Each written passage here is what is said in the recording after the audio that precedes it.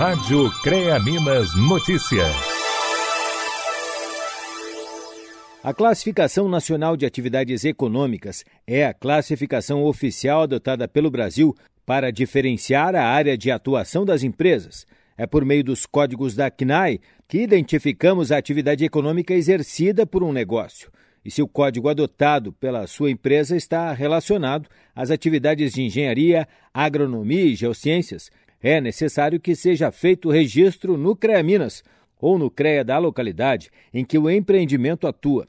Entre as atividades que exigem um registro estão construção e reforma de edifícios, obras de urbanização de ruas, praças e calçadas, construção de instalações esportivas e recreativas, demolição de edifícios e outras estruturas, manutenção elétrica, serviços de pintura, serviços de agrimensura e atividades de estudos geológicos.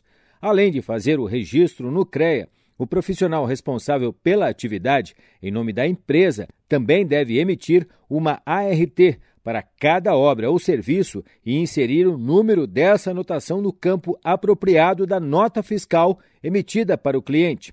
A resolução do CONFEA 1121 de 2019 diz que é obrigatório o registro no CREA da pessoa jurídica que possua atividade básica ou que execute efetivamente serviços para terceiros, envolvendo o exercício de profissões fiscalizadas pelo sistema CONFEA-CREA.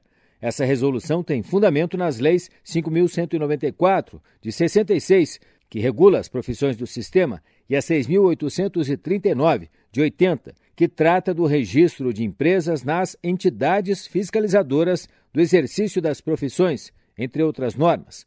Como dissemos, o registro da empresa deve ser feito no CREA da circunscrição em que ela atua.